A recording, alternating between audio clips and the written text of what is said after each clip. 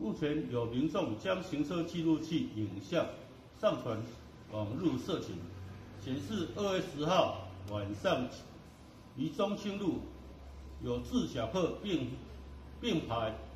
停车引发口角一案，双方当事人并未向警方报案。